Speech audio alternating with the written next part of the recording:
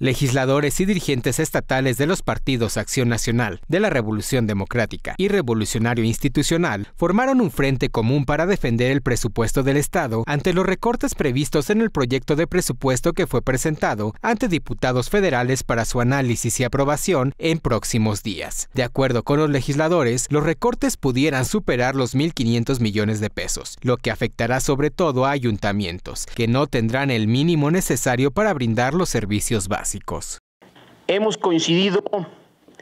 en la necesidad de mantener una defensa permanente en torno al tema presupuestal, pero quienes estamos aquí presentes a nivel de dirigencias de partido, de legisladores locales y federales, hemos coincidido de que cualquier esquema federalista debe buscar un equilibrio en los tres órdenes de gobierno.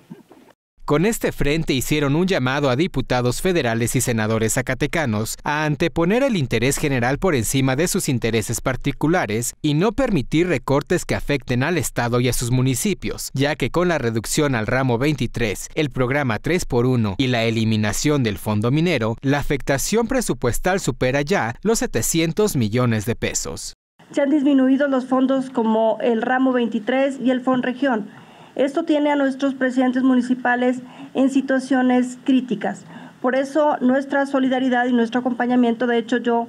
me voy a retirar antes de esta rueda de prensa porque me voy con los presidentes municipales para acompañarlos en esta solicitud que se hace respetuosa a los diputados federales